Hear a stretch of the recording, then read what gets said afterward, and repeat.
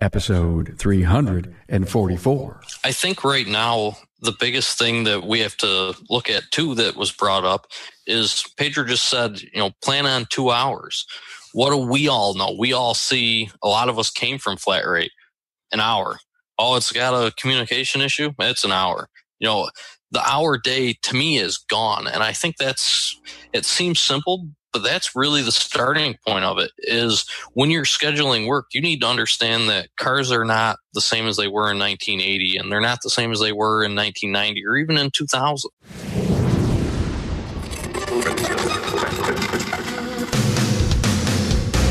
Welcome, aftermarketers, to Remarkable Results Radio. Listen to learn just one thing from today's episode on your journey to remarkable results.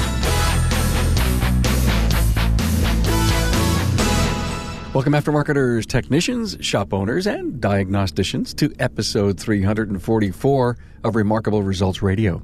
A standby for a technician roundtable with Brin Kline, Tanner Brandt, and Pedro De La Torre. In this episode, we talk about the differences between A techs and diagnosticians, and a whole lot more. This episode is presented by Federal Mogul Motor Parts. They are the reason you enjoy these great free aftermarket interviews. Now, when you need innovation and quality, you need Federal Mogul Motor Parts. Brands like Moog, Felpro, Wagner Brake, Anco, Champion, Sealed Power, FP Diesel, and more. They're the parts techs trust. Find out more at fmmotorparts.com and thank you for your support of these brands. I'll be hitting the road soon to attend industry events, and I'll be moderating panels and recording interviews, and we'll be presenting my keynote. Again, this year, 2018, I'll be at AAPEX with my studio, and will also lead a panel that you do not want to miss. Our topic at AAPEX is Automotive Career Pathways, the road to great technicians. Keep an eye on the newsletter and the social streams for more information. If you're listening from your desktop and want to be mobile, you can find many options for your smart device at remarkableresults.biz slash app, so you can go mobile. Hey, the network of listeners builds in the aftermarket's learning superhighway. And I'm very honored to make so many connections like new Facebook friends Dennis Blow, Jason Rozu, Cheryl Anderson, Michael Grochala, and Chris Decker, and my new Instagram followers, AJ Neely and Padilla Angelina, and my latest LinkedIn connections, Derek Devers, Brett Bodison, Lennox Hunter. Get connected. RemarkableResults.biz slash social. This technician roundtable includes Brin Kline, AAM, owner of Assured Auto Works in Melbourne, Florida, Tanner Brandt from Tanner's Auto Clinic, and Pedro De La Torre from Logic Automotive, a mobile diagnostics training and consulting company. There's a diverse set of shops with A and B grade technicians and even heavy line technicians. These techs have their roles to fill and skills to showcase. Now, given this, it is a shop's responsibility to take advantage of each technician's given set of skills. They must fill the criteria of every shop's expertise, customer needs, and quality. This technician roundtable covers a lot of ground and points out that every tech must have that keen eye for detail when it comes to repairs. The panel says shops need to have the latest equipment and information technology updates to deliver quality customer service. Selling and scheduling diag time and constantly collecting data and case studies for future references are among the key talking points. Find those talking points and extended bios on my guests at remarkableresults.biz slash E344. Brin, Tanner, and Pedro are passionate about their professional craft. This episode will pay dividends for all shop owners, service advisors, technicians, and diagnosticians in the aftermarket. Now be a fly on the wall in this roundtable discussion. Enjoy.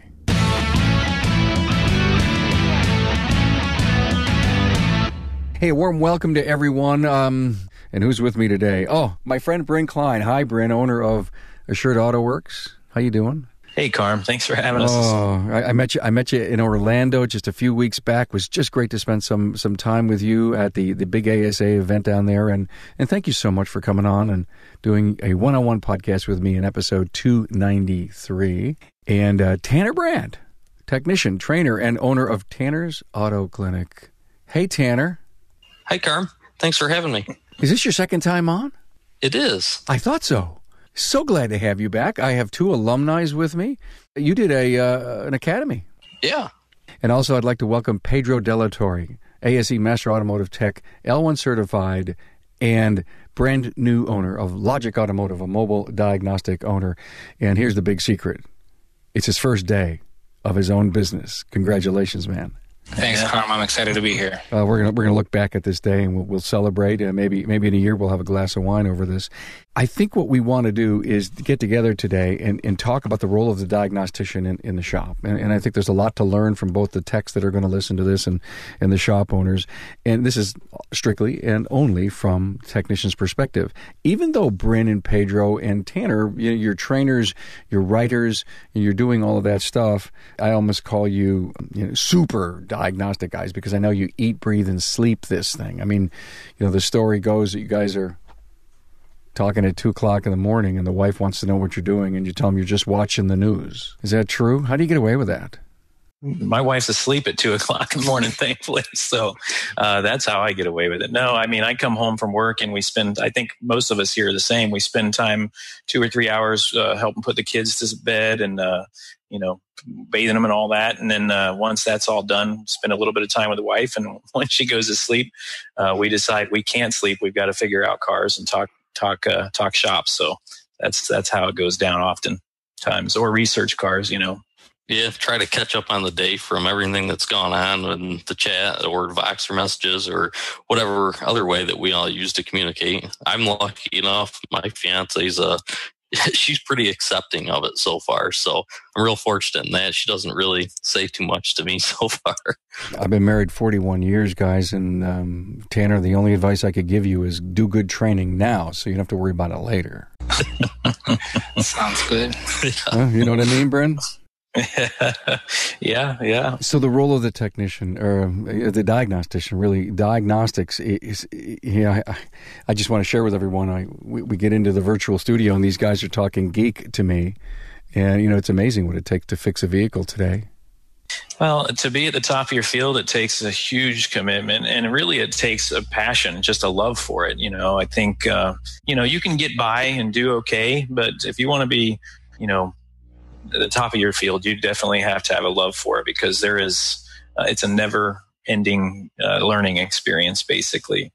What's tough right now with it is the amount of training that it takes to be involved in the industry right now, the amount of drive it takes, and just the overall time, I guess, away the commitment that it takes in to be a successful diagnostic tech, you really have to stay up on that. To be uh, I guess I would, I don't want to say just a shop owner is, you know, make it look like it's not a good thing or that it's easy, but to do mechanical repair work, there's a lot less that goes into it as far as training and as far as tooling and as far as just kind of everything that it takes to be involved in the diagnostic side of it right now. Brin, you said the word love. You just got to love it.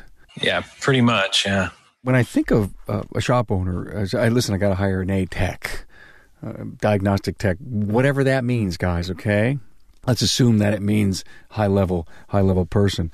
Is one of the barometers, Brin, when you want to hire a high tech, do you want to find that he loves, loves, loves to do this work? Yeah, if you're lucky, but that's kind of how this this this conversation started. Um, Tanner, Pedro, and I were talking about it, and Tanner and Pedro specifically were in a position where they found something they found a shop that was looking for that quote a tech and which you know someone that focuses on the diagnostics of the shop and they felt like they had a good opportunity to get into that position and what we're finding is too often shop owners don't understand what it means to have a diagnostic tech. And uh, that's a lot of where this conversation i think what you'll find uh, it steers from is uh, from their experiences. Their um, we're finding in the field, like I said, that shop owners we're hoping to kind of share what some of the behind the scenes stuff is and some uh, to share some of the value of a, of a true diagnostic technician. Because uh, just like we talk about um, acquisition of new talent into the industry you can't put them under car changing oil every day and sweeping floors and taking out the trash for six months to a year. You have to give them something to be interested in. This is very similar for a diagnostic technician. For somebody that has literally invested uh, most of their days uh, researching cars and learning and attending training and, and, networking with some of the best in the industry and making those uh, relationships and, and building and honing their skills, you can't expect that diagnostic technician to be the same uh, same uh, job description or uh, if you will, I guess, my lack of a, can't think of a better way of saying it, but you can't expect that technician, that diagnostic technician, to have the same roles in the shop that you can, uh, you know, maybe your line tech, your production tech, or your, you know, so that's where a lot of this this uh, has come from. I think is, you know, we're hoping to share with technicians and shop owners, you know, what that role really looks like and try to build value for that. Well, you just mentioned job descriptions. Let's go there. I think right now the big thing is a lot of these shops really don't understand the difference between an A tech and a diagnostic tech. And that's something that the term diagnostic tech you hear thrown around a lot at training conferences. But in the rest of the industry, I feel like a lot of people really have never heard it. And then they get kind of confused. They, you know, I get a lot of interviews, especially right now as I'm, you know, branching off right now and talking with shops. They go, oh, well, you know, you're a diag tech. As I'm handing out business cards, why don't you just come work for me? You do, you know, you'll do transmissions and head gaskets and everything else, right? And I'm like, you know, I do, but that's not what I'm, you know, that's not why I'm here, and that's not what I want to do, nor is that why I've spent so much money going to training. Uh, the message is don't stereotype an individual who is a diagnostic tech and assume that he's going to take on those different mechanical style roles. Yes. It's a different breed, you know, definitely. You can have a talent to troubleshoot. Not to say that um, uh, R&R guy can't troubleshoot. I think they have a different type of troubleshooting, uh, but you definitely have a different mentality. You know, you have a different approach. It could be a young individual that ex- that could excel in an IT field or something like that, and if they apply that troubleshooting and knowledge with computer systems into automotive, they would be a great fit. Uh, you know, a lot of it comes from that nowadays with what we're dealing with uh, automotive industry.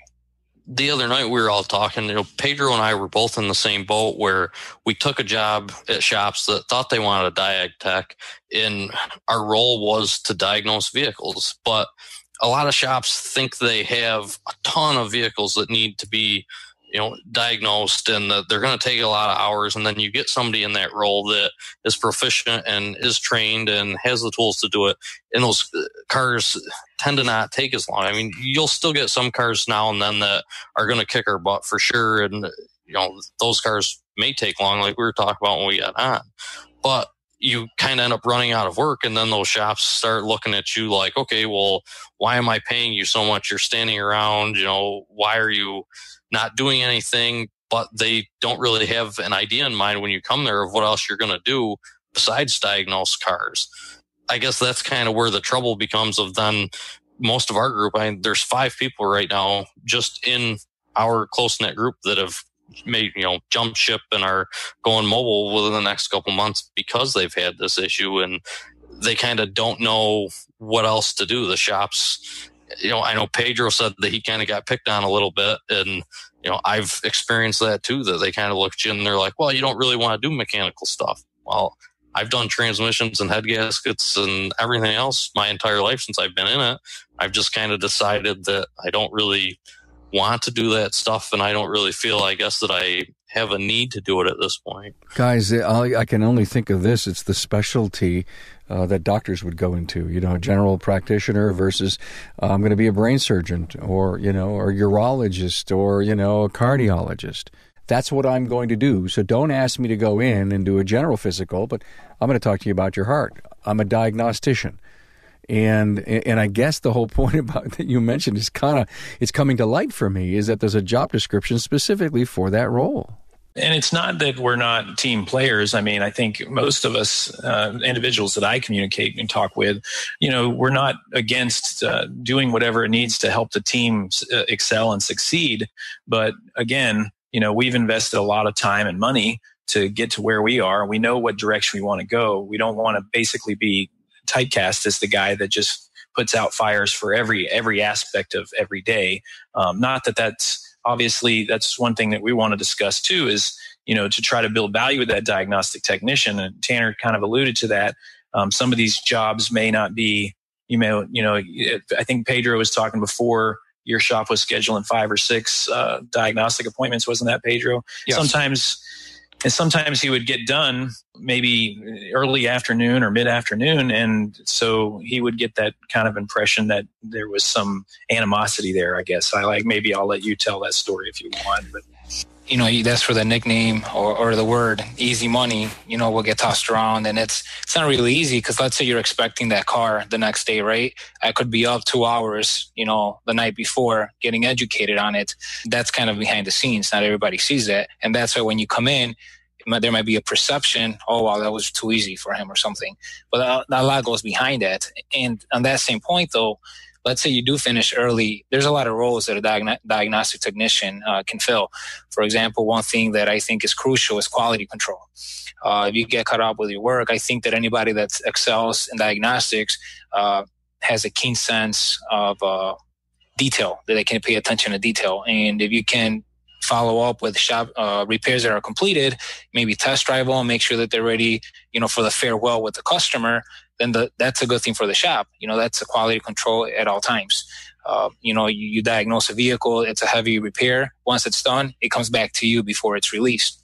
Uh, and, and, again, quality is maintained. And then there's so much more behind that. You know, you could have apprentice uh, techs that come in uh, and they can shadow you even one, one hour a day. If that's all they give you, they're preparing the next guys in line uh, to uh, get the same kind of quality work that, that you can produce, hopefully and that's that's key. I mean, I just listened to a great episode uh, with Dave uh. Yeah, Macholz. Yeah. I mean, we've talked and you've talked on the podcast about it. Uh, you know, mentoring type thing that the industry needs to um, take on more of, at least in a formal way. And that's a perfect example. We talk about, you know, making sure that shop owners see the value in the diagnostic technician besides just diagnosing cars. And that's what Pedro's trying to, um, Pedro did so well as explaining is that we have other things that we can do to help that, that team excel. I'm talking to Bud Houston, a technical product specialist with Federal Mogul Motor Parts. Do you actually put products in the hands of the technicians? Yes, absolutely. Anytime there's new product introduced, perhaps a, new problem solver or a new technology, uh, we keep that stuff on the van just because the, their local parts supplier may not have it available. And we think it's important to show them what's coming and then seeing the part is really, especially with the new OEX, seeing the part and touching the part is something that changes perspective rather than just a piece of paper with a picture of the part. Okay, so you put an OEX pad into the hand of a technician, and you've done this, I'm sure, hundreds of times. What do you see on their face when they see it? You can you can tell they get it. You know, in, in, in our industry, there's technology that that we use all the time that you look at and you're like, that just doesn't make sense to me. I'm going to take your word that it works.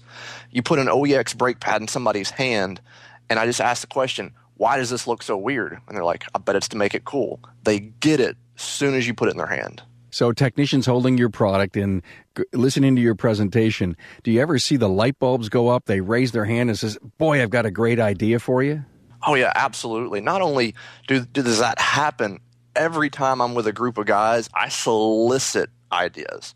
I'm like, listen, a lot of the stuff that I've shared with you originated in a bay somewhere where the technician said, you know what, if you could do this, it would be really cool. And so the stuff that I get, I send up, you know, uh, to our engineering team and say, hey, could we do something like this? And there's things in, in, the works, and there's some things that came out recently that that originated in, hey, if you could do this, it would be helpful. Because at the end of the day, you know, I think Federal Mogul's known in, in every line to be a problem solver and not just solving a problem, but making an installation easier as well. Federal Mogul Motor Parts' Garage Gurus is your go to source for the vehicle training, technology, and answers you need to keep your next job on track. On site, online, or on demand, the Gurus are here to help keep your business and your career on the road to success. Visit fmgarageguru.com. What else, guys? Uh, I love it. Quality control, uh, mentoring. What else can we basically kind of, you know, air quotes into a job description for a diagnostician? Well, one thing I enjoy doing was on downtime is uh, keeping up with our equipment, our tooling, making sure things are up to date, looking over cabling.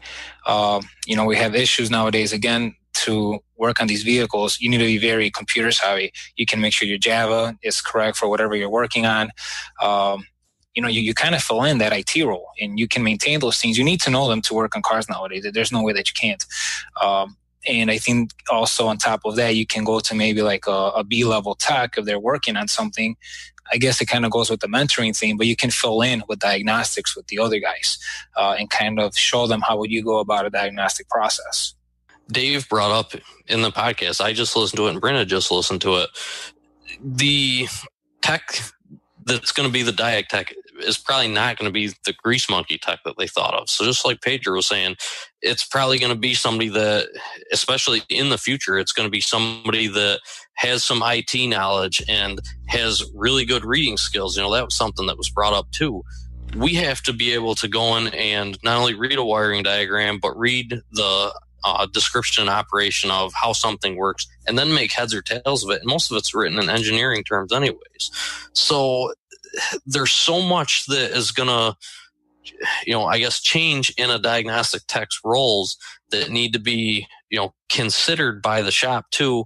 Not only just consider, I guess, their education, but also what they're putting forth. Not only are a lot of us putting a lot of time in at night towards, you know, getting better, but I also think it needs to be recognized too the amount of money that is being spent to keep up with training and things like that. You know, could the diagnostician, the diag tech, or whatever we're you know we're calling him in this episode, him or her, work with the owner um, and look at the, the coordination of training for the shop? Yes, definitely. definitely. And the big thing that we run into a lot of times at least that I'm seeing, and I know a lot of the guys in our group have seen the same thing, is that these shops, you know, I, I at least put on my cover letter, you know, the training events that I attend, and I tried to, you know, really explain that before I take a job that I'm very active in training, and they're always real excited about it. And then you get there, and once they see the cost and the commitment, that flame that they had kind of burns out immediately. So I always end up paying for all my own training and then they just kind of they think they want to be involved in it and then they don't want to commit to it once they see what's involved. And I try really hard. I make sure they understand, you know, you're not only getting the training, but you're getting the networking out of it and the experience. And I really try to bring a lot back and explain that, but it still sometimes, I guess, seems to fall on deaf ears. One thing that I really enjoy helping with, I'm not sure if uh, Tanner and Brent uh, agree, is write ups. Uh, when we're dealing with uh, like an extended warranty, I, I, enjoy communicating things clearly, getting it across, uh, so there's no miscommunications. Anytime we're dealing with something, uh, has to be very clearly expressed, even with customers. when I have to explain to a customer in detail, maybe someone that considers themselves a do-it-yourselfer, I really enjoy getting the point across in technical terms and clearly, uh, so they get a very good understanding of what they're paying for, and then that helps the shop. You know, you bring somebody up front that uh, can appear to be educated and understands what they're doing very well. I mean, that's going to look great for your shop. Dave brought it up too. Toyota right now is pushing their master techs to take classes on repair order writing. There's been some discussion about soft skills uh, communication skills, getting along with people, being able to talk to a customer. You, you think those are important? Oh yeah, I think very it's much. hugely important. Yeah, for sure. Especially right now, as they say, the millennial generation and the generations coming up after that really want to understand what they're getting for their money. So somebody has to be able to explain to them what they're getting, why it's a value, why it's important to do the service, and they want to be taken care of and know that they're not being ripped off. And I think that that's something that the industry has struggled with and still kind of struggles with because the past, I guess, shops were always kind of that rough and tough. And I've worked for a lot of owners that they don't want anything to do with talking to customers. And they'll tell you straight out when I talk to them, yeah, I hired this manager because I never wanted to talk to customers. Well, then you're kind of relying on a manager that hopefully knows something about cars. They may not know anything about cars to try to convey what's wrong with the car. And even if that manager has good soft skills, but they don't know anything about the car, and then that person turns around and goes to you know another technician that may have good soft skills and they go well they told me they replaced this part and this is how it was written up. And then that guy looks at it and goes yeah that part doesn't exist on a car. Then it makes that shop look bad. Any role for the diagnostician to work with the service advisor on systems? Uh, to you know, who's going to help the service advisor stay current? Uh, maybe not to the degree, the nth degree, the geek degree that you are, but uh, if you will, the the ten thousand foot view of what you guys uh, are working on. Most definitely, I actively practice that. And anytime I would write something up that uh, involved maybe computer logic, I really enjoyed explaining it to the service writer and breaking it down and maybe into some simpler terms in a way that they could use as tooling for the customer. Uh, maybe they have a good understanding of it, but if if I have a good understanding and break it down to the simplest form, that helps the service writer pass that on to the customer. And now they just learned the next three other uh, repairs that are similar. They're already tooled with the knowledge uh, to be able to pass that along. I try to help our service writer a lot, and I've tried to help a lot of owners and other managers through the years with explaining that to them. And I try to bring them out in the shop and show them what I'm doing so that they have a better understanding. I think it's kind of one of those things too that they should get involved. I believe when we go to these training conferences, we talk all the time about somebody should, you know, consider sending the whole shop if they can afford it and get the service writer not only in on service manager training, but I think it's a good idea to have them go and do some technical training too. You know, a basic electrical class would be good. A GDI class would be good. I just had this discussion with a shop about selling fuel induction services. They kind of always sell a fuel induction service with a tune up, but I brought up that a lot of the new GDI cars, that fuel induction service really isn't doing a lot for in the tests that we've seen. So as times change, you need to know the technology that's changing with it so that they understand what they're selling rather than selling it to somebody, a service that may no longer be needed or may no longer, you know, be something that's even being recommended anymore.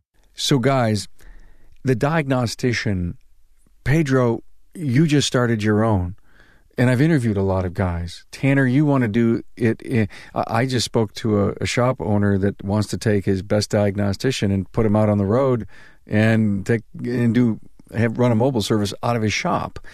Is it because we don't know how to manage and lead a diagnostician, or we don't believe we have enough work for him? What's this phenom of mobile diagnostician all about? I think it's the hunger for the challenge. A lot of it. I, I think. Uh, I was in a great environment. I really enjoyed where I was. And I think it was the first uh, group of people referring to the shop owners that really looked for it when I was approached about this job. You know, they uh, we went out to get some breakfast and we were talking about it. And they're like, we understand that a lot of this diagnostician part is an investment. You know, it doesn't bring out the most money in the shop uh, the suspension work. That's what brings the money. That's the reality. You know, turning wrenches, getting the work out, getting those hours.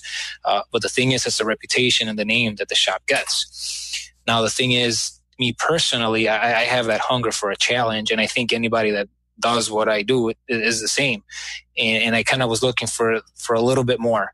Uh, and then I felt it was the right time. I've put the time in. Uh, I've been, you know, getting my things ready, and I felt that I could uh, command the type of jobs that I wanted uh, and feel that challenge and accomplishment that I'm really hungering for. I think one of the things that I've seen is not only do we all have a hunger to do it, but sometimes the shops definitely don't know how to manage it or keep it busy to have a diag tech you know, I know Jeremy O'Neill has done a lot on selling diagnostics, and that's something that I've worked in shops before that they've never sold diagnostic labor ever. They never charge for it. And then I come in and they believe that they have a need for a diagnostic tech. So they talk to me about it. And one of the shops that I worked at was this way. And I walked in and he was willing to change, but he was very uncomfortable selling diagnostics. So when I would spend two hours looking at a car, in all the years past, that was a wash to him. He was not ever charging for it. So getting them kind of on board and getting them to understand that I'm, you know, I may be your top paid guy or your diagnostic tech may be your top paid guy. Why are you letting them work for free? Getting them to kind of see that seems to be, uh, I guess, tough with some shops. I guess I would say. Brin, you're the shop owner here. Um, do you have a diagnostic rate? We have started to um, take some of Jeremy's techniques and basically sell diagnostic packages. So um, the diagnostic rate does uh, come up because there's resources there that you will not be using in any other services that you offer. Uh, service information systems, uh, scan tools and updates for scan tools and training and things like that. So yes, uh, Jeremy O'Neill, uh, Tanner mentions great because I'm sure there's others out there, but I happen to know Jeremy pretty well. He's been on the show a lot. Uh, we talk about all the issues in the industries that, like, you know, and what's the answer to fix them? It comes from every angle. I mean, it comes from your show. I mean, listening to your show and talking about these guys uh, and listening to these guys talk about that stuff and how to sell diagnostics properly and and hearing about guys like Jeremy and and you know trying to motivate shop owners and service advisors to attend that type of training. Part of the diagnostic technician in a brick and mortar facility really i think shop owners you know one thing is determining whether you need an a tech or a diagnostic tech.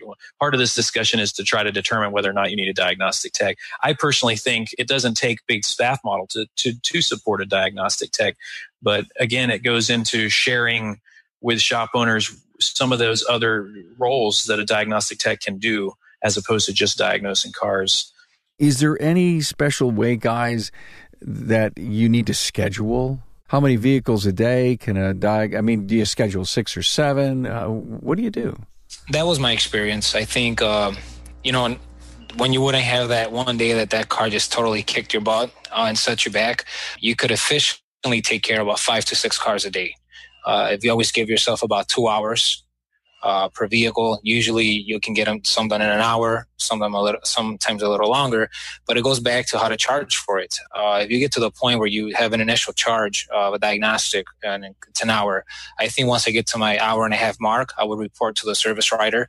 Uh, I know this, I know this, but I don't know this and it's going to require this much more time to learn these next few uh, bullet points. Uh, and then they call a customer and they express what they know. And you want to give as much information as possible. You get that right up. That's where communication is key. You don't want to call them and say, Hey, we got two hours into it. We need two more hours. It's going to cost you this much. What do you know? He's still looking. That's not a good selling point. You want to know he knows that this is good, this is good. Uh, we know this is coming, and we want to attack this part and that's mm-hmm. how you can efficiently sell it and the customer will have a much better uh, understanding and picture of what they're paying for. Well that's for building value to that too. That's the other part of it you know selling diagnostics. If you're you're selling something people can't you know they don't really understand anything about it so you have to put packages together and this goes ties into the DVIs, you know, your shop management systems that have uh, ways that you can take pictures and screenshots of uh, scan tool captures and scope captures, upload those, and then do a quick story about what you found. And that's exactly right. You know, the communication is key up front. You're not selling a fixed car. You're selling testing to pinpoint the cause of their concern, basically. And you're kind of giving them a heads up of what they can expect, just like Pedro says. And if you have good uh, DVIs or something like that. That's again, it's about building value, and that those types of things help you to build value. Uh, telling those stories and, and, attaching those stories with annotated screen captures of scan tool captures or scope captures. So, I think right now the biggest thing that we have to look at too that was brought up is Pedro just said, you know, plan on two hours. What do we all know? We all see a lot of us came from flat rate, an hour oh, it's got a communication issue. It's an hour. You know, the hour day to me is gone. And I think that's, it seems simple, but that's really the starting point of it is when you're scheduling work, you need to understand that cars are not the same as they were in 1980 and they're not the same as they were in 1990 or even in 2000. So judge, you know, taking your schedule and judging every single car that it's the same as 1980 and it's going to take an hour to diagnose because it doesn't have spark and not understanding what's involved in it. These shops really need to understand that i would say two hours is probably pretty close to where you should be you know or where most cars are going to take you if they're a hard diagnostic problem. It was you pedro that said five to six at two hours apiece that's a long day. Oh no, it is definitely. And again, you know, there could be days where I only got two cars in, and then um, four cars had to get carried over. Okay, so you're the you're the diagnostic tech. You've had two cars a day. Is the owner just going crazy that he's paying you to be there? Uh, you know, there's there's nothing that's high tech coming in. I'll be honest with you that I never experienced that directly. Uh, usually there was good understanding. Uh, I think there was frustration over the, the numbers. The numbers have to make sense. Uh, but I think they, they always take the bad with the good. And, and, there was an understanding of that. And I love what you guys started out this whole show with. There's there's work that the diagnostician can do uh, as as a very major lead inside the business. And I don't want to re- rehash that; it'll be in the show notes. But uh, those those are great pointers, and and I like where this this conversation is going. A thought that I have is I've got this this image of a tech over here, and I have this image of diagnostic tech over here. Are they one and the same? Are they different in certain shops? Do they blend together? Help me understand. Are they north south? How does it work? I, I, don't think they're the same. I, I really, I think I had a couple of A techs that I worked with, you know, excellent technicians. And this was your all around guy. You know, he could knock out real, you know, heavy mechanical work. He could grab a scan tool and, and get to an area of a problem. At least tell me, hey, I know this is a fuel related problem. It's not fuel related. You know, this could be something that's to a component failure or electrical uh, circuitry. That's a technician that can tackle a lot of the jobs and if you work together, I mean that job that shop is going to produce.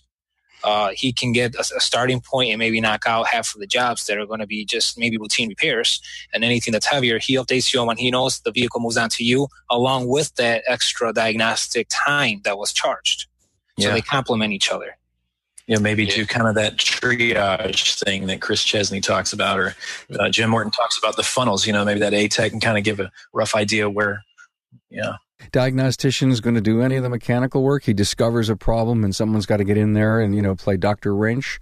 Is he going to do that or move on to the next vehicle? Quick stuff that's easy, you know, uh, that doesn't need a whole lot of invasive repair. I think, you know, solenoids that are really easy. What do you guys think? Wiring repair? I think that's pretty typical. Well, I always did the wiring repairs. Um, if yeah. I found a wiring issue, that was always me. And it's a good thing you asked that, Carm, because one of my weaknesses is engine internals. I have focused so much on maybe the drivability portion and understanding electrical that when I get in there, sometimes I really, really need to get educated on how a mechanical component works. And that can play against you. You know, we talk about a great diagnostician, being able to use all this electronics. Thing is, you need to have that strong mechanical background to tie it all together. I love what you're saying is you don't have to be strong in mechanical to be a great diagnostician. And I guess it goes to the fact that can you be that world class in everything that's thrown at you today? I don't think so. It's impossible. It, really is. You know, I had the help of great, great, you know, heavy line guys that could really break it down.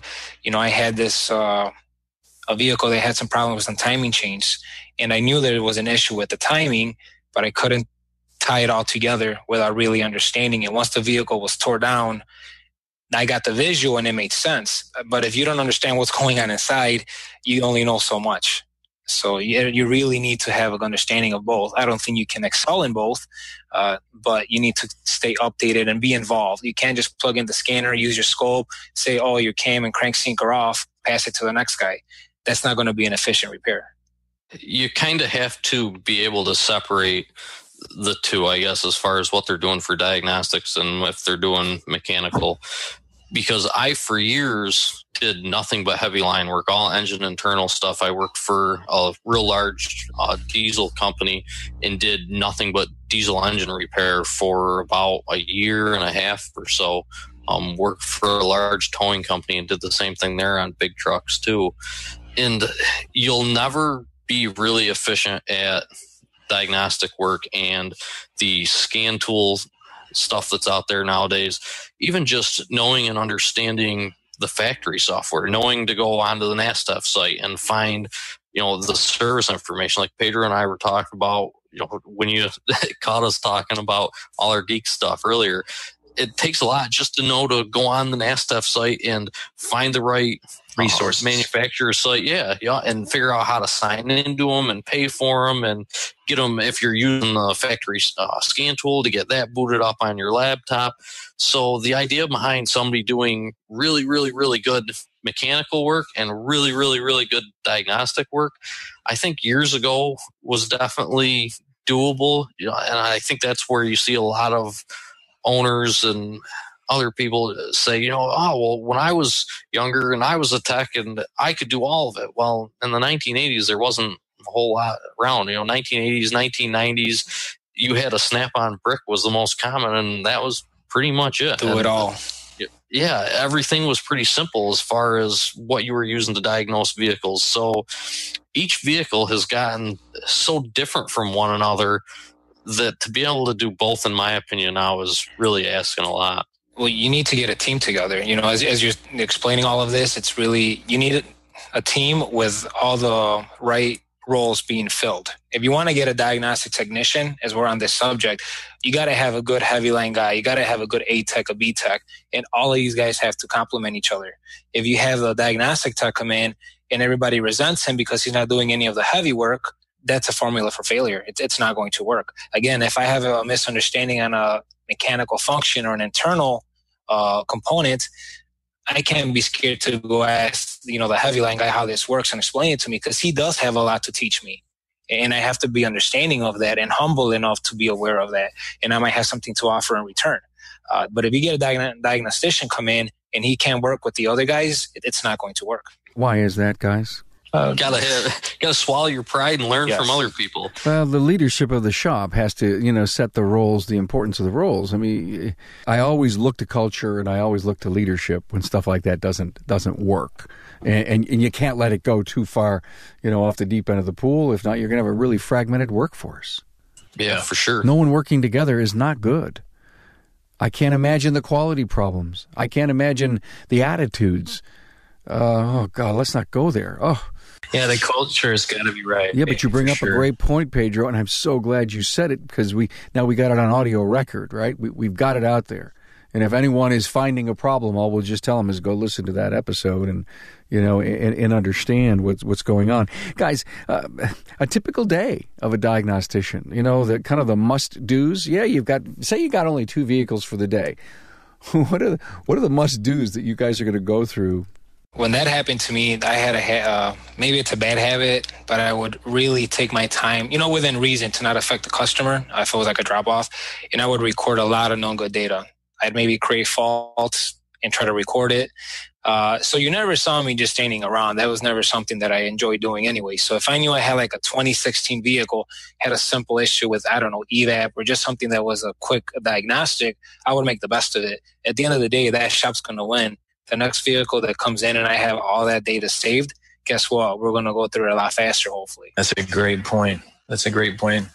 Yeah, I mean, I think you're kind of like Pedro said, even when I'm not collecting known goods on late model cars, because down here in the Southeast, we don't have rust, so we don't get as many late model cars. But um, collecting scan data and scope captures on known goods is definitely important. But you, you typically you know, most of us too are, are looking at long term, and and some of us are, you know, Pedro's already teaching uh, fairly frequently, I believe, but teaching and, and then teaching some of our own material. So collecting case studies and and putting them in a, a, teachable manner, like in a PowerPoint or whatever, and annotating screen, you know, scan and scope captures are part of it. But as far as the company is concerned, um, I think Pedro uh, can probably speak to that as well pretty well. But you know, what you're when you have a light day what are some of the things that you're doing for the shop uh, that maybe the shop owner is not necessarily aware of, I guess, or doesn't think about? That's something I want to bring up too. Not only the things that we're doing to stay busy, sweeping the floor, cleaning the shop, case studies, known goods, you know, everything we're doing, but when that owner turns around and sees that you only did two cars, it's pushed so much in the management side of every tech has to have X amount of hours for the week. Well, then that puts us as a diag tech in a bad position because then they come back and they're like, well, you know, you didn't make any hours for the week. And I struggle sometimes to explain that. And I kind of look at them and try to, I guess, as politely as I can explain, this is what you hired me for. Do you want me to do other things? But a lot of times they don't really know what else to do and where the hours should be. And uh, they don't quite understand, I guess, how it's oh. supposed to run. This, this makes me think of a first time parent. You know, yeah. you get your first child and you're kind of learning along with them. Yep. And that's really what it is. You get your diagnostic tech. You're both learning how to how to do this together. Uh, no so when you when you leave and he hires the next one, it's easier. I get. It. Yeah, yeah. you, you learned a little bit. yeah, you know that goes into trying to, to help shops realize whether or not they have the car count or the needs for a diagnostic technician, and um, you know a lot of it. It's no different than marketing for you know, if you decide you want a diagnostic technician, it's, it's no different than marketing for, you know, maintenance work or alignment work or brake work you just you decide you want a diagnostic technician you need to market for that too whether it be for you know, car lots or other shops in the area so that's something that um, shop owners need to recognize is that you know they've got to they got to go for it they've got to ask for that business so Brin um, i'm a customer and I'm I'm having uh, my check engine lights on, and I'm coming in. The car doesn't run well, and I come into your place.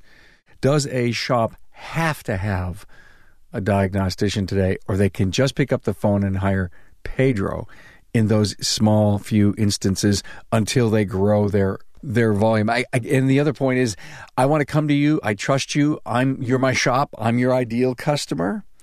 So so here I am. Fix it, Brin. Right. So that's the thing. As a shop, yeah, exactly. It's a great point. As a shop, you have to realize whether or not you have the volume of cars that need a diagnostic technician. And if you don't, hopefully you're fortunate enough in an area like um, Pedro's area, there's a lot of, um, there's a, enough shops there that would support a mobile diagnostic technician. So not every area or region has got a mobile diagnostic technician. So if you do, if you're fortunate to have that, then that's something that that's another option. You don't have to necessarily try to to handle that yourself, you know, because it's a risk of a return on investment being bad. Basically, is the amount of time that you invest in tooling to fix everything that comes in uh, on a high level diagnostic type thing. Um, it's it's pretty substantial. So you have to determine, you know, again whether that's something that your shop can support car volume wise, and if you have that option, great. But well, it's it's a goal. I think you know it, it could be part of your business plan to develop that. Uh, like Carm said, you, you only need to call it uh, mobile tech, you know, every few months. But let's say you start promoting yourself to do so, and you start subletting with other shops, uh, and you get that uh, reputation that you can handle these diagnostic jobs. You want to be that shop that handles all the diag. Uh, sure, you might start off by calling a mobile guy, you know, maybe five times a week. But guess what? Once you have that volume come in now your business plan is in motion and then you hire your diagnostic tech. Now you have the car count to maintain it. Yeah. In my opinion i definitely don't think they do. I mean that's where the need for a mobile guy comes in. I think what the shops really need to do is sit down when they're thinking about hiring is listen to some of these podcasts and talk to some management trainers and really look at and say, what am I looking for when I'm hiring a technician? Because a lot of these shops see a diagnostic tech and they get all giddy and they're real excited. But then you sit down and interview with them and talk to them and go, okay, what are you looking to have done? You know, what are you, what are my roles going to be? How many check engine lights do you have? What do you want done? They're like, oh, we do a lot of brakes. We got do a lot of tires.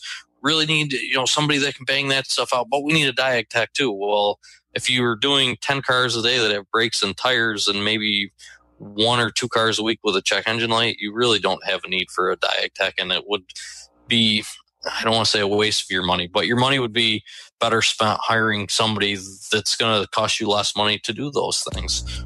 Yeah. I mean, like, again, if you have, if you're fortunate enough to have a mobile guy in there, um, or if you have another shop that has that reputation that's already built that business, then you can sublet that to the other shop. Yeah. Yeah, for sure.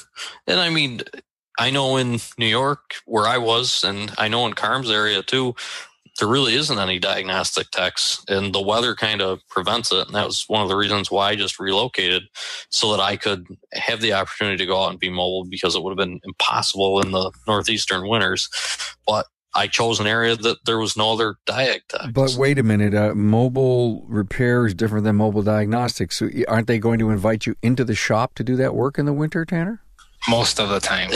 you would hope so. But what I saw in New York was a lot of smaller, older shops, so they don't have a lot of bays so the shops that I did kind of help at night, things that I would go look at, friends of mine, it was always, yeah, we'll get it inside for you. And then I'd get there and they'd have had a problem car that they couldn't get parts for. So then the car ended up out in the parking Don't lot. Don't forget the dead battery out there too. Exactly. Flat tire. So I knew what would happen if I tried it in New York. So that was kind of why I. Okay. Moved. So there, there isn't a point in time in your business model that you could say the car must be inside. Yes for sure. You try, but it, you know, a lot of shops don't have the room for it, and That's- you're, you're looking to get the work done uh, and, get, and gain the customer. You, you know, I, I'm in the Midwest. We get some pretty rough winters. I don't think I would be outside in a snowstorm or rain. You might have to look at something outside, maybe a, a check engine light or something quick under the hood. This has been so enlightening. Um, I think we've covered so many uh, great areas. Uh, we were focused, but we went wide in the discussion uh, in, in this focus. So, an A tech to you guys is not a diagnostic tech. That's the big takeaway here. I, I talked to shop owners. Yeah, I got to hire an A tech. A tech. I guess what I have to do in the future is to say, are you looking for this person to be a really good diag or a really good top level me- mechanical tech? Pretty much, just like Pedro described, as uh, A tech is somebody that can, is well rounded, can, has a lot of experience, can kind of handle most of what comes into the shop, including basic level diagnostic. And then every once in a while, he might have to uh, pull on us another resource or somebody like Pedro to get in there and help him figure something out. So you got an eight bay place. Uh, you probably can afford to bring a, an- a diagnostic tech in, and you'll probably have the work for that person. But a, a two three bay place, maybe not. Unless you've built that reputation with other shops typically i mean you're not going to get a lot of customer pay work that's going to keep you that busy it's going to have to be like a sublet scenario i think What else you you guys want to get off your minds? I guess one thing that I noticed the other day, just to touch on the difference of an A tech and a diagnostic tech, the new science and technology school uh, out in Colorado. I saw I saw in his video that he made. I showed everyone in the shop this to see their opinion. He has the diagnostic techs in the engineering department, and skilled trade and mechanical are a completely different department. So cool. everybody's kind of understanding, and Dave touched on it too that the kids that are going to go into the diag side are not the kids that are going to go into the mechanical side. By the way, guys, thanks for that connection. I saw that and I immediately reached out to do an interview on that. And I was told, hey, uh, Carm, give us a two or three more weeks. We're working on a few things. So we, we will work hard to get that done. So tell me, Tanner, Pedro, Brin, ultimate goals is training. And I know you guys are doing training now set me up. What what, what do you want to? You know, okay, you're diagnostic tech. Brin, you're a diagnostic geek and a shop owner, but you're also doing some training and some writing. Yeah, I think if you were to ask all of us, you probably may as well just ask one of us because it's very similar. I mean, we're uh, automotive technology and diagnostics is the primary piece, but most diagnostic technicians, true diagnostic technicians, I think they get a thrill from being able to. Uh, you've seen, heard a lot of trainers on your show say it. You, know, you see that light bulb go out for another technician when you're explaining something. So I think most diagnostic techni- technicians really appreciate being able to share their their knowledge and being able to help other people's uh, other diagnostic techs or other technicians that are aspiring to be diagnostic technicians kind of get there whether it's an a tech or whatever you want to call it i mean is helping them make you know understand something is great so i think for sure it's the it's diagnostics it's training. And for me you know uh, you already know this it's it's a big time passion for helping the industry move in a forward positive direction. So Yeah, one, one big goal that I have is, and maybe this is a stretch, but you know, as we move forward with uh, trade schools, focusing more on maybe diagnostic roles uh, than just uh, mechanical focus or general training, is setting up some kind of mentoring program. If you have a select group in your class that's looking to really move into the diagnostic side of things, is uh, have a reputable shop or technician. Let's say I, I can work with a school where once a week I get one of these students to ride with me for the whole day. That that would be something that I would really enjoy because I can share my knowledge. They can see the workflow of the day and the challenges and see the real world and what's out there. You're not just in the shop, you know, with mechanical pulling plugs and this and that. A lot of it is very, very tech savvy and, and you can really experience it. If, if we can get, like, you made a, a connection with the medical field with like a general practitioner and maybe a surgeon, uh, same thing. If you can connect the student to come out and see that they want to specialize in diagnostics, you can get that role filled in by coming out and getting all your hands involved with all this technical information. Are you training for any special company, Pedro? Uh, drivability guys uh, with Scott Shine and Eric Ziegler. Yeah, perfect, great. Oh God, yeah, great, great people. Tanner, how about you? my big goal is I'd like to teach and I'd like to be a little bit more involved on that end of it with high schools as well as colleges. I really see a need to try to help guidance counselors and the college directors make it a point to find the kids that they really want in the program. Amen. That's something that to me is, you know, I saw it for the last three years. I've gone and uh, proctored the NOCTI test in New York for one of the local high schools up there. And a lot of times they got sent kids that the school wasn't sure what to do with. They just didn't have a drive for something. So they were sent there and not only are they doing something that they don't want to do, but then that's not helping the industry at all. So I'd like to continue to become a better diagnostic tech and really try to get involved more with helping the industry and bringing on the technicians. And then also on the end of after the college is done with them, making sure that those kids are treated correctly and stay in the industry. Heck yeah. Beautiful.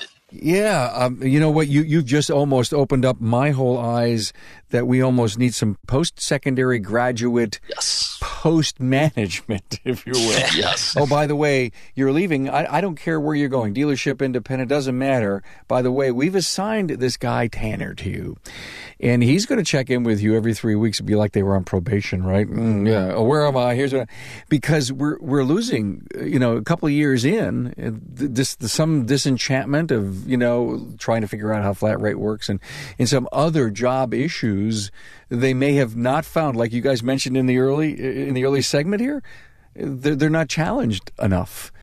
I think those are both brilliant, like Pedro's thoughts and, and Tanner's as well. Um, but you know, th- there's so many shops that are looking for talent, and they're calling the Daves and the Matt Shanahans and the you know, and they're calling them, asking them, you know, I think that would be great. Is okay, you know, if you want us to feed you, you know, some of our best uh, graduates, then you have to be held accountable. You have to teach, treat these people right. You know, it's not necessarily the technician so much that needs the follow up. It's okay. You talk to that technician. How have they been treating you? You know, what what have they have have you been doing? It's, it's, a great idea. You offer them a manifesto, and this is really this is kind of how the integration of of our new student works inside of your business.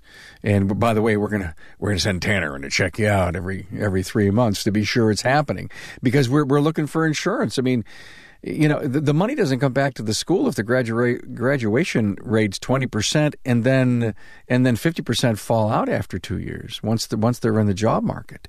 Definitely, you know, I lost my train of thought earlier. What I was trying to get across when you had made the reference to the medical field is. Um, when somebody's going going to go out to the medical field, they do something called like clinical hours. You know, they get out there, they have to book a certain amount of hours in the field. That's what I was trying to allude, allude to earlier. Is if that's really a career you're going to go into, like you said, the, the, Tanner has to check in with them, you know, every three weeks. Uh, same thing, you have to get 60 hours in a shop with somebody that does the type of work you're interested in. Is this really what's going to work for you? And if this is what you want, you have to complete this. One, you get out there with some experience, you, you dip your toes in the water, uh, and it gives you a better idea. Do I really want to do this for the next 10, 15 years of my life? Is this pie in the sky? Are we just talking, or do you think this could actually happen? I think that I would think be great. It's easy. It's not hard. I think it needs to happen. And something to bring up when I heard Dave bring up talking to dealerships about, you know, people moving and about how they get the data. Uh, he brought up some of the Toyota stuff. I was a Toyota T10 graduate. I got a call six months after I graduated from Toyota, and they asked if I was still at my dealership, and I was not. Uh, I didn't stay at the dealership because they lowballed me as soon as I graduated basically made me such a bad offer that I would not have even been able to afford the gas to drive there, let alone any type of expense after that. Why would they be spending this kind of money on these programs at these post secondary schools and, and, and lowball you? You're a pretty smart kid. I mean, they had to see that. And not only lowball us, but the flat rate thing. You know, we talk about the medical field. I have tons of kids that I graduated with. I was luckily smart in high school. I don't know what happened after that, but all the kids that I was in classes with are now engineers, scientists, doctors. I have one that's a brain surgeon. They all came out of their field, were respected when they graduated, and were made a good offer so that they could pay off their student loans. And not only made an offer, but made an offer to where they knew this week I'm going to have this amount of money. The next week I'm going to have the same amount of money.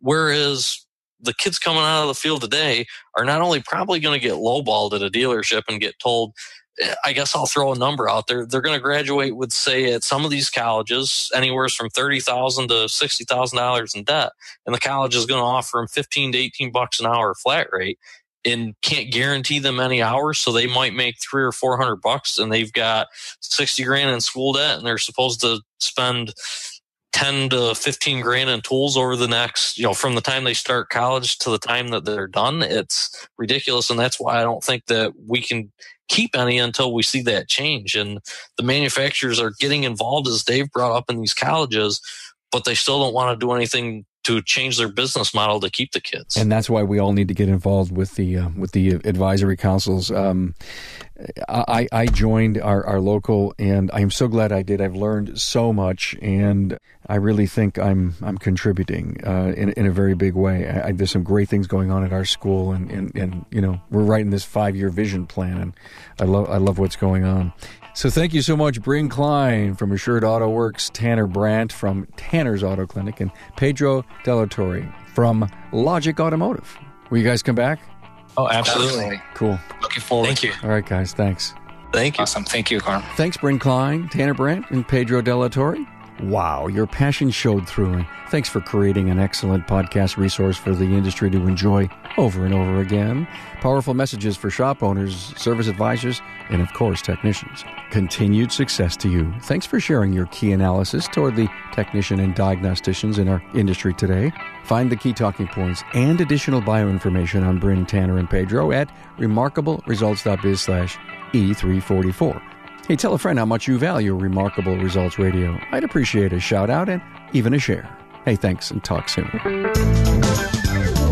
Thanks for being on board to listen and learn from the premier automotive aftermarket podcast. Until next time,